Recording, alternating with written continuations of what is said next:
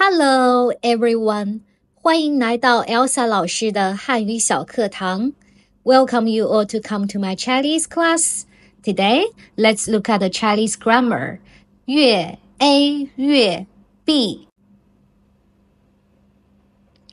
月加动词加月加形容词。B 随着 A 的变化而变化。A 一般是 动词，B 一般是形容词。这本书越看越有意思。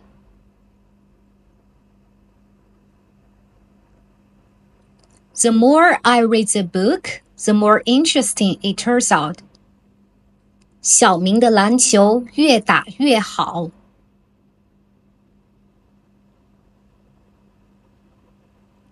The more Xiaoming plays basketball, the better his skill gets. 她越吃越少，所以越来越瘦。She eats less and less. No wonder she gets thinner and thinner. 你们都学会了吗？See you guys next time. Bye bye.